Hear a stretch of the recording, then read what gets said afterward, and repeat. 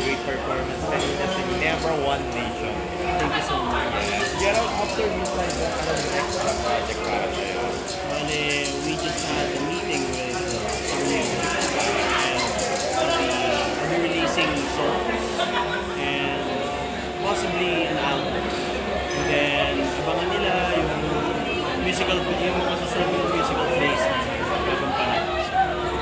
And hindi ko tayo gonna disclose it yet. So, There will be a surprise. so after ng Gerald, after mo sa GMA, talagang kapamilya kita na start na na hindi ka na start music. Bali sa ngayon, freelance ako. freelance artist. So, wala muna akong affiliation kasi I'm planning to go back to London. So, wala yung, wala akong, hindi ko may commit yung sarili ko sa kahit sa network. How about sa acting sa showbiz? Uh, do you plan ba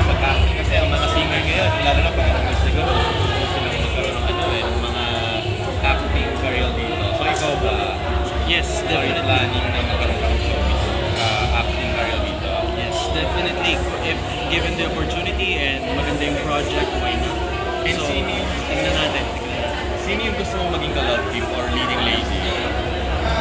ever, you know what, nakikita ko siya madalas na, and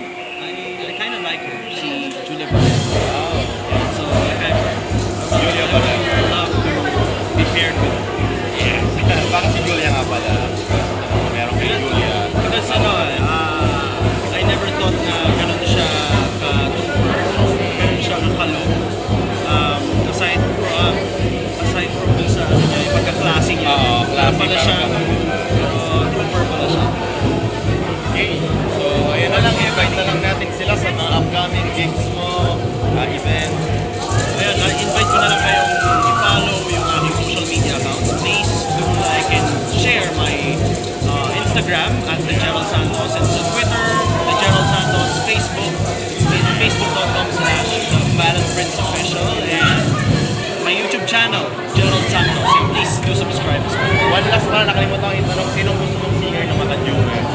Sino gusto kong singer na maka-duet.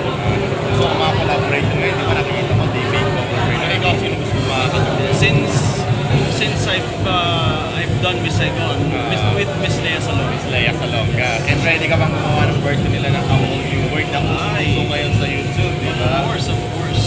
I would love to. Be wonderful. Yes. Thank you, Gillard, and good luck.